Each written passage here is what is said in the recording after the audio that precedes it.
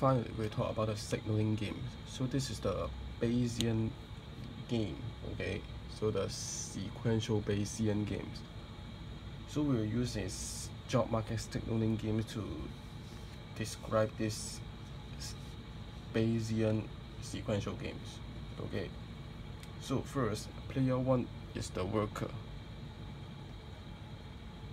So they can be either highly productive or low productive workers. H and L okay. Player 1 is the applicant. While player 2 is the HR so he or she is considering whether to recruit the workers.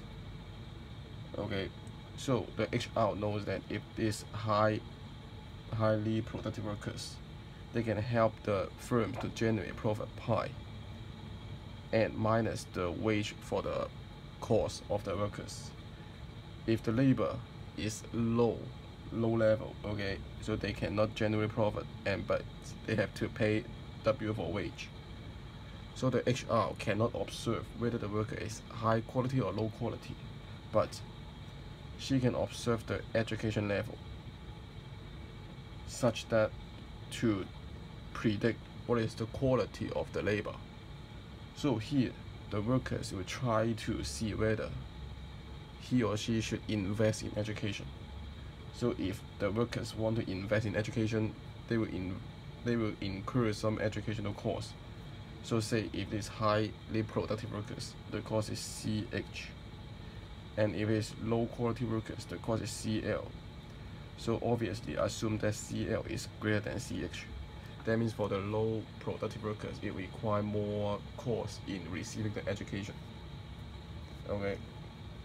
Since player 2 does not know the quality of the workers, so she will place some probability. So she will place PRH for highly highly productive workers and the PRL for the low quality workers. Okay.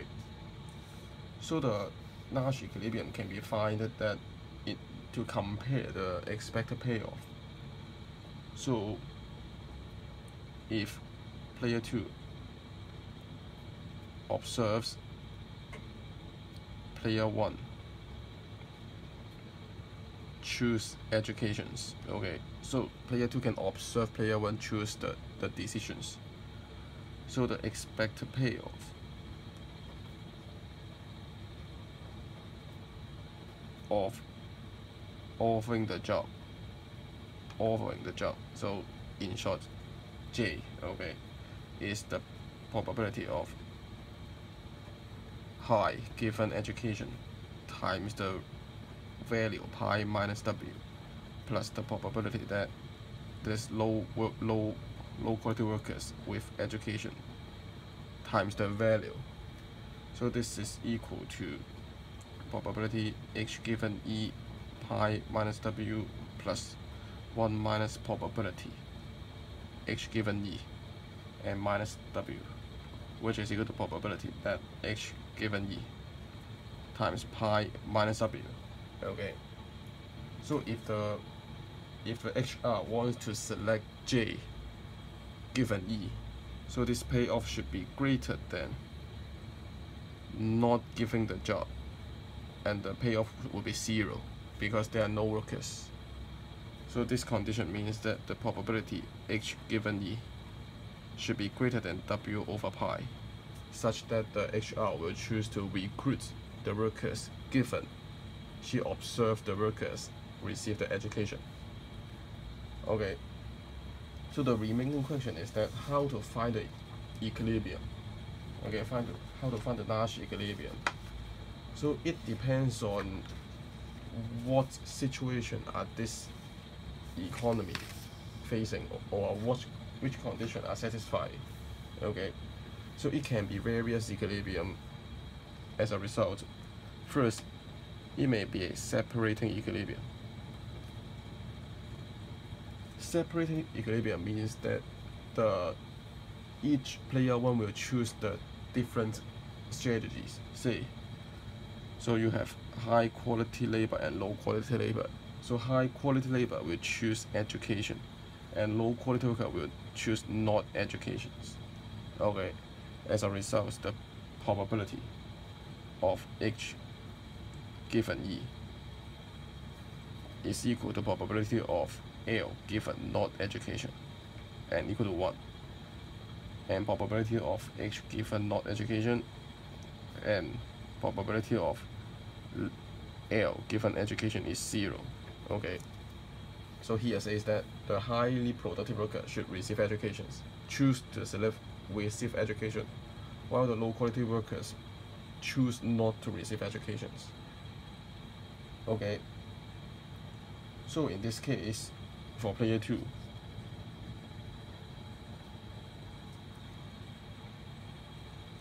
so if if she observes education and choose over the job it means that the pi minus w is greater than 0 okay. And if she observes no education and she offered no jobs so it means 0 is greater than negative w okay. So because this must be the low quality workers and this must be the high quality workers. So the next step to see whether this is a Nash equilibrium we are going to see that whether player 1 will deviate. Okay for player 1 will they deviate? First take a look of the high quality workers. So that if he receive education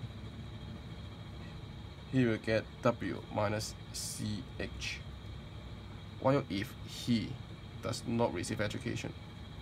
He will get 0 and for the low low quality workers again you do this if he receive education this is W minus CL if he does not receive education he got 0 so if we want to ensure this case to happen we want to we need to ensure this case.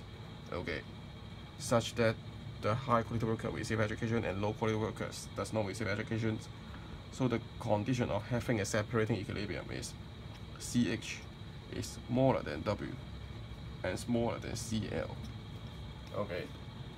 The cost of receiving education for low quality workers is too high higher than the wage while the wage is higher than the cost of having the education for the high quality workers. As a result, the separating equilibrium can be achieved. Okay, so the separating equilibrium is not the only case. So you may have other equilibrium. The second equilibrium may be the pooling equilibrium. So pooling equilibrium means that the, all the player one would do the same action say they will receive they will all receive the educations.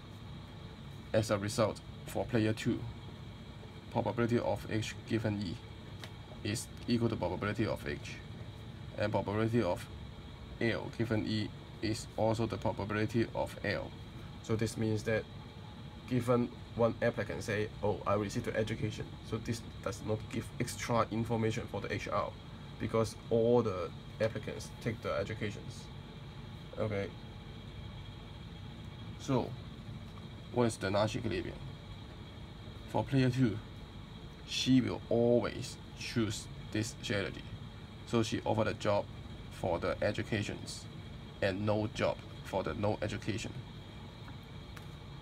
This is because if if she does not use these strategies, say she offered a job for not educations, then in this case the high quality workers will deviate because in this case, no matter whether the high quality workers receive education or not, he will be recruited.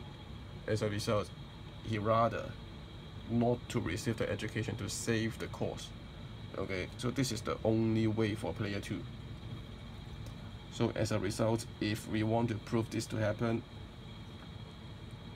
so player two will, okay, if we'll do this, if he, re, if he observe education and she will offer j so this means probability of h times the value plus probability of l times the value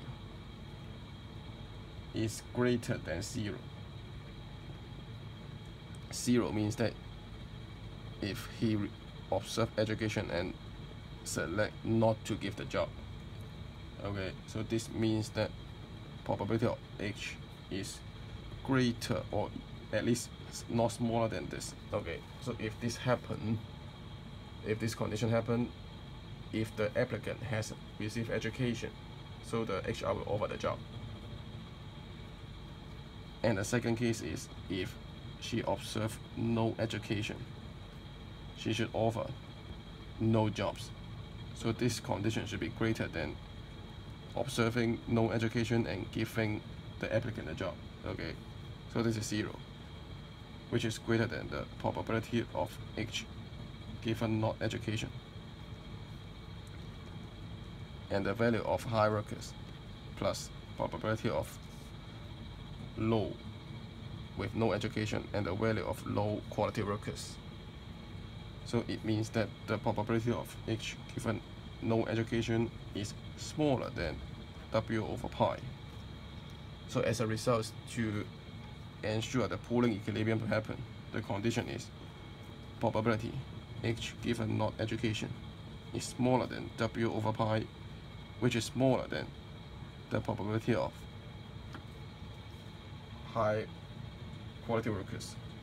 Okay, so this means that in the society, the probability of high quality workers with no education is very small. Okay, so this is some pessimistic pessimistic view.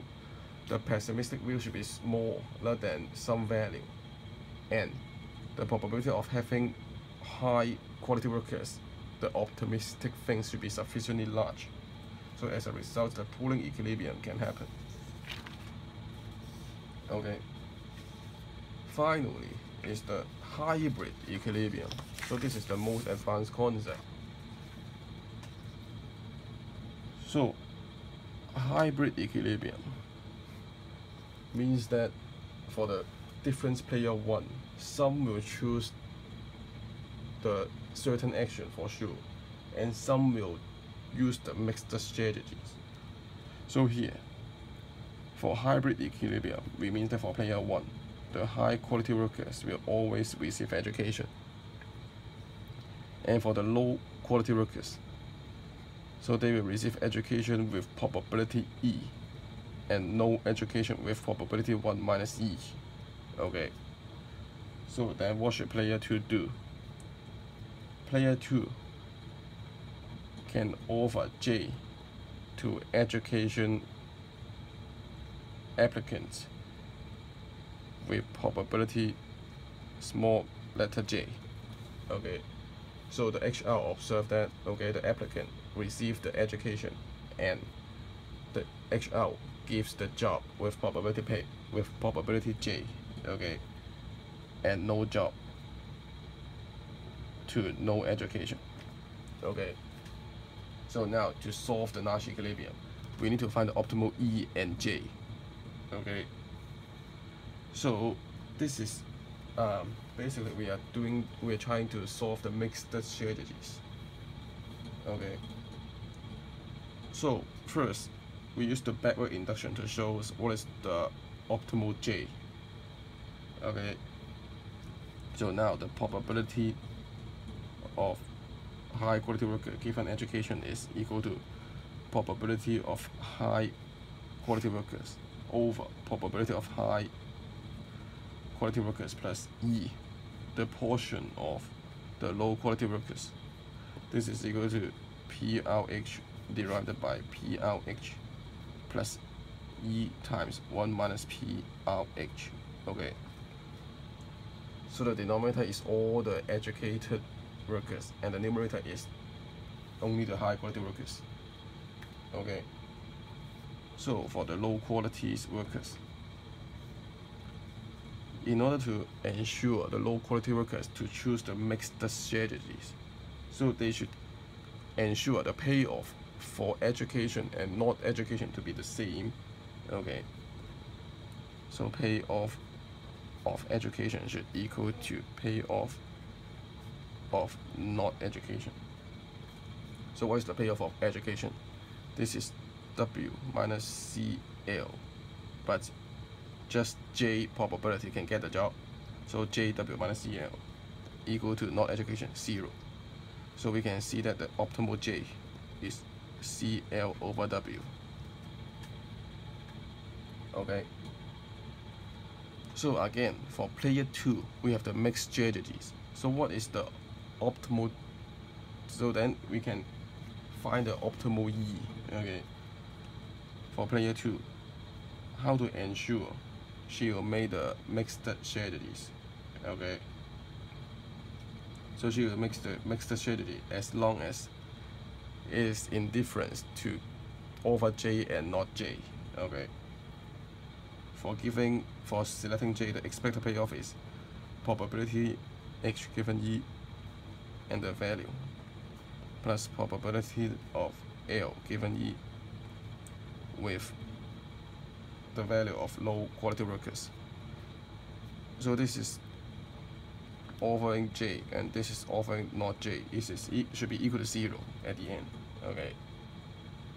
As as a result she will use the mixed strategies. So we will get this for the left hand side and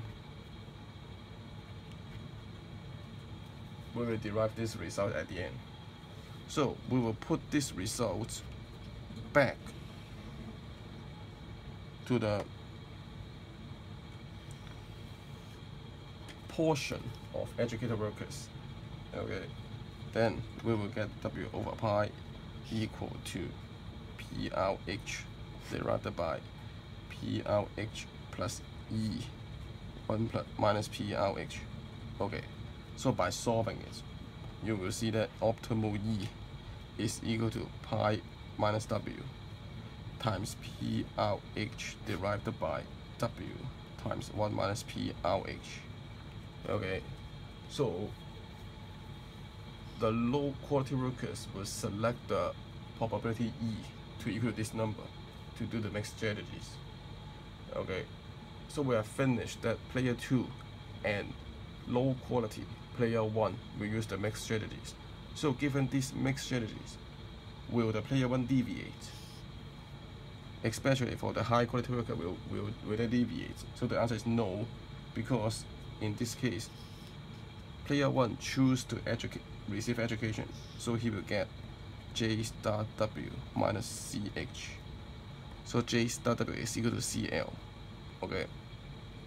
So CL minus CH, this is the payoff of receiving education and get a job. So this is bigger than not to receive education because not to receive education he will not be recruited and get the payoff zero so here he will not deviate because he can get a positive payoff okay so this is the concept of the Bayesian sequential gain